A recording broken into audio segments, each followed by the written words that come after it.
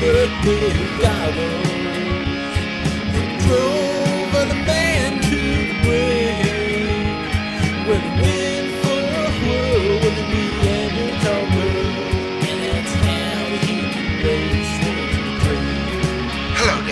Hello. Um, why am I talking like this? Eebria, just here like that. Look, balanced on the back, on the side of my seat there. Um, we have got a uh, what have we got? What have we got? What have we got? I've quite forgotten. Ah, we've got a Vive le Brett. Vive la Brett.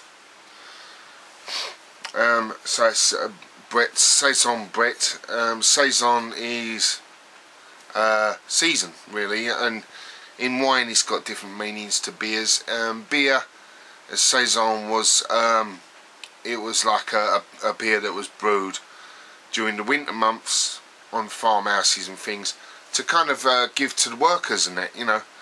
Um, uh, back in the day, you know, safe uh, safe water was, you know, often, uh, well, water as it was, wa- was quite often a dangerous thing, you know. Especially, sorry, especially, oh dear, especially so in um, towns and cities and things like that. So, um, you know, a safe kind of uh, a safe alternative was beer, you know. So beer was was boiled up. It was you know looked at, it was boiled up and it had hops and things as well, which are uh, are nature's um, antiseptic and stuff. You know, so it you know it was um, a pure pure thing, and um, they used to brew up uh, a low ABV. You know, sort of two and a half to three sort of ABVs, um, so that you know they could get a good, a good first quench, wallop, get some of that down. Liquid meal, so you're not really hungry all day long. Um, so you got malts and stuff like that in there, liquid food, and energy drink almost, you know, um, and just just enough kind of alcohol to sort of yeah, lovely, get on with work, feeling happy, but um, not enough to get drunk on it And the Brettanomyces lambic, uh, um, the Brettanomyces yeast is a kind of one that brews in different things, different temperatures and that, and uh, it was one that would brew through the winter months. I think it actually, I think it actually brews warmer than normal yeast, if I remember rightly. I could be wrong. Um, but I used to brew it up in winter months anyway. I think it was to do with the fact that in winter months you could open brew it and that and um, had a lot less airborne kind of naughties. Speaking of which, I've got a bit of a flu. Now, with by the horns, by the horns, is uh, I don't know if it's the same worldwide, but I know it's certainly uh, a London saying. I don't know if it's uh, originates in London, but it's like take like take life by the horns and that. You know, carpe diem and all that business. You know, um, a custom more honoured in the breach than in the observance. That sort of stuff, you know. Um, yeah, take go out and shake life warmly by the nuts. That sort of thing. This is a saison Brett that is aged in barrel oak. um, fairly new brewery. Let's crack it open gently. Um, fairly new brewery, couple of young fellas, um, Alex and oh, what was the other guy's name? Alex and oh shit, I can't remember. Sorry, didn't say that. I said, uh, geez, or something like that. I said, I can't remember. Can't remember the other guy's name. A couple of young fellas met at Bristol University. There's the uh, little wee. Uh, get my face out of it. Little coat of arms there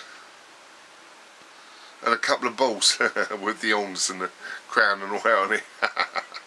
Lovely stuff. Um, yeah, I like that. It's Got its own little bit of humour to it as well. That smells lovely.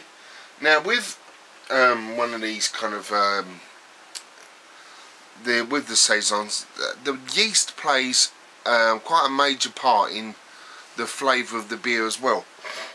I always say that yeast plays quite a major part in all flavours of beers, but um, the yeast itself, you know, and uh, the yeast does two things. It's got that that iron sort of, you know, like rubber balloon on your head, and everything sticks to it. There's a bit of that going on um, with all the little yeast in it. Um, flavour particles like that to them, and um, and also they're uh, they've got a flavour themselves in it. Often little spicy banana notes and things like that. And as well as that, you if you're brewing at different temperatures, sometimes you get little esters and things and all sorts going on. So it's all interesting stuff. So let's pour that out. Oh, look at that. It's lovely. Oh, look. I'm hoping it's coming out a bit crystal clear at the moment. I don't really want it crystal clear, so I've poured it back round. I'll give it a stir around. I don't think, myself, I don't think that um, the, uh, that um, the saison should be crystal clear. Like I say, the yeast is very much a part of it. Is, is it just me? Is the you know is there crystal uh, crystal saisons? Or am I going completely gaga? Don't say yes. I've got feelings. Right, well I'm going to pour the lot in here. It is looking really beautiful.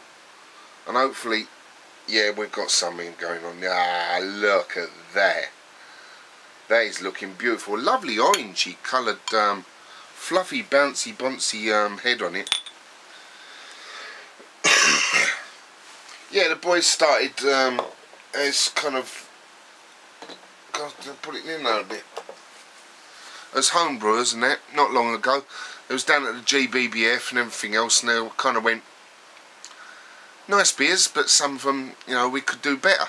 And um, and so they kind of got their kit together and everything, and out they went. They started brewing, and went from strength to strength, which is why I've got the old glass here and that. The old uh, this one's a 2007. I think it would have been around 2010 or something like that, maybe. Um, when I went down, to, they might have actually seen me down there doing hello and all that business. Anyway, that's looking how it should look like that. Look, nice little murky little look to it. Look, murky. You can't see me. Can't see me, incha. Nice orangey little head to it, and let's spin it around a bit. Stick me nose in. Get the old bugle going, and all that. From one, me one nose hole that works and that, you know, and uh, and see see what we got going on. just wet the tip of my nose. Really cute, cute, lovely, cute smells.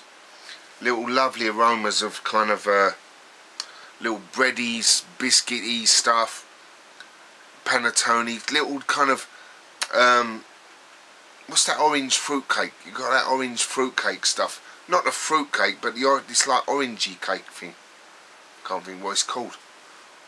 Um, I've got air in my mouth. Ain't off my head. One minute.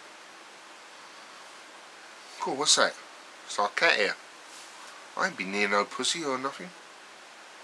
Pussies, I mean. Oh, sorry. Just talk amongst yourselves. Well, I just saw myself out. Right, get on with it, sorry. Still there. Must be one of me, like a stray beer deal or something. And again you get one of them, I'll get them out of my eyebrow like that. Little grey one usually waving in the wind. Whoa, and they come out here like that. And I like, pluck, another one. Sorry, have I digressed here? Right. Nice little sherbety notes, nice little um, sort of sweet and soury bitter notes in there. Really nice. I, I think that's so cute. And they're bzz, bzz, up your nose and that. As I say, you've got biscuity notes and things like that, shortbread biscuits and stuff like that. Head's dying down nicely and cutely, leaving a little wedges of islands and that here and there. Yeah, nice tangerines and kind of zest pills and stuff like that. Right, let's go in. Wheaty sort of notes in there as well. Let's go in and let's try it and taste it because I think this is going to be like one of them that makes you go where you, oh, you almost get your salivary glands go like that. Let's go. Cheers. Bombs up, chin chin.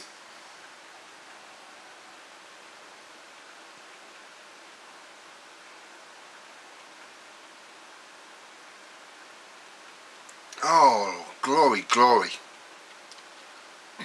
Oh, oh, this hits you in two, two or three hits. This hits you. Diff oh, jeez, this is lovely. Glory, glory, glory, hallelujah. This is bloody gorgeous. It comes in and you go, oh, that's nice.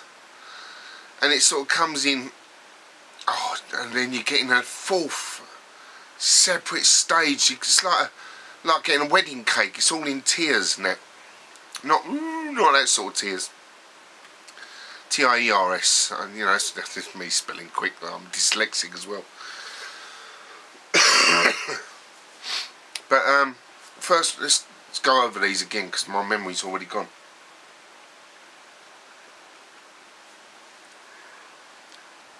You're getting nice little toffee edges, little salty note